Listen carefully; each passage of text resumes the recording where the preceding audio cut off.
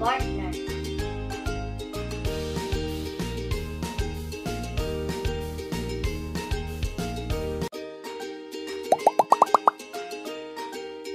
No, because paper doll is too light.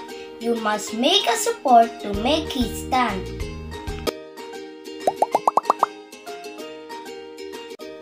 Yes, because the wire supporting the paper doll and its look like a muscle and bone of the doll. Just like us, we can stand because we have muscle and bone.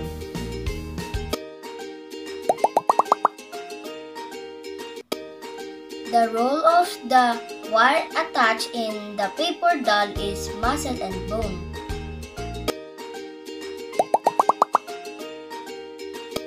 I feel the backbone.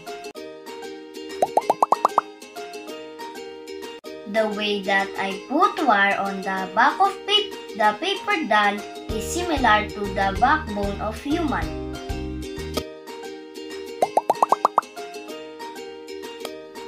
The backbone gives the paper doll flexibility to bend, balance, or it can walk. So this is the end of our experiment. Hope you enjoyed. Bye!